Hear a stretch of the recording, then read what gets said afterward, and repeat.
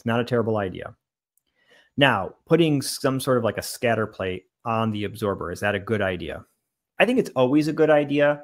You know, you sometimes you run into issues where you need more absorption and that may be taking away some of the absorption you need.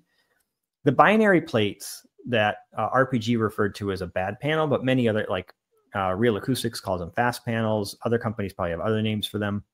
The concept behind that was a pseudo random binary pattern. And that pseudo random binary pattern that they chose, which was uh, chosen for its behavior in this way, because if you draw like a straight line across or down, you, you you'll hit like a dot only every so often.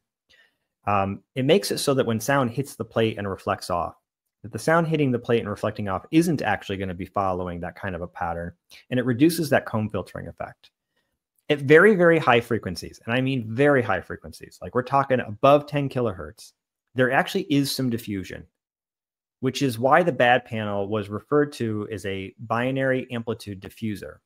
But if you actually read the patent and white papers surrounding it, Peter's pretty clear that it's not a diffuser in the sense of a product that's doing a good job diffusing below that. He never thought of it or referred to it as a product that provides any diffusion in that critical 500 hertz to, we'll call it 10 kilohertz range. It's above that range that it provides the diffusion.